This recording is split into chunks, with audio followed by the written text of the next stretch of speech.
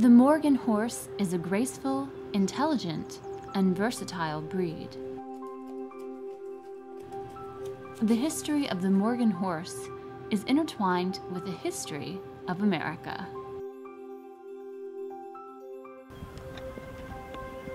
All Morgan horses can trace their ancestry back to a single bay-colored stallion named Figure, owned by Justin Morgan, a Vermont farmer and schoolmaster. He did, in May of 1791, go get the horse, brought it back to Vermont, and every spring from that year on, he advertised the stallion figure at stud as a source of income for his family. Figure really fit the needs of the hillside farmers of the day. So you could have a horse that a hillside farmer could use during to plow and uh, log his land during the day.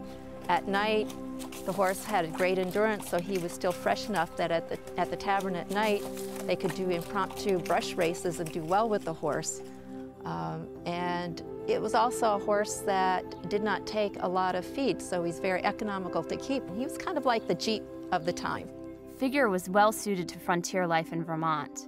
Small but strong, elegant and high-headed, Figure gained a reputation with the locals, who began to tell stories of the many triumphs of Justin Morgan's horse.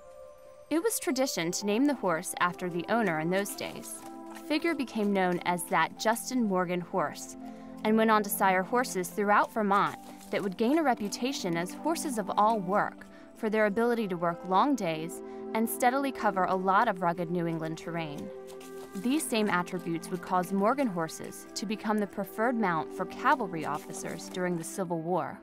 In the face of battle, they didn't flinch. They were forward going, um, ready to charge, do whatever their master asked, and they could outlast other types of horses that uh, were falling. Throughout history, Morgans would go on to carry presidents, generals, Vermonters heading west in search of gold and land, and play a key role in the development of other breeds. You could have a just a backyard Morgan to take care of your kids, or if you want something that has a lot of flash and fire for the show ring, there are Morgans that are bred specifically for that. Whatever you need, you can find a Morgan for. Morgans are all American and versatile.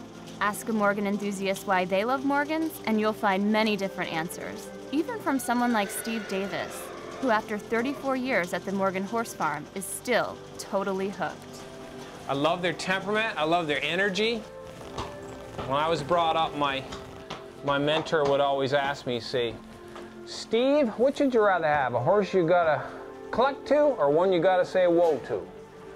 And I like the one you gotta say whoa to, that's ready, up on the bit and ready to go. So you're saying, whoa boy, easy boy. That's you.